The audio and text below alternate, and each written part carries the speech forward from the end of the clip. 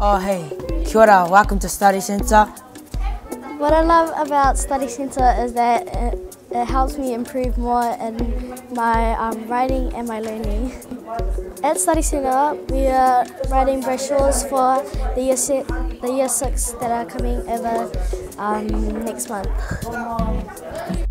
Uh, hello guys, uh, welcome to Avalon Study Centre and um, over here we're just writing on the Google Docs about the Year 6 brochure and um, giving them an idea of what Avalon Intermediate might be like when they come here. Um, what I like about Study Centre is that you get to learn a variety of new things and right now we're doing brochures for technology and yeah, it's very fun.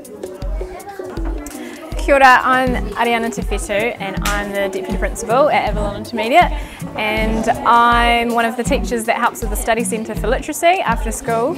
And you can see we've got heaps of students here that want to have an extra session of learning.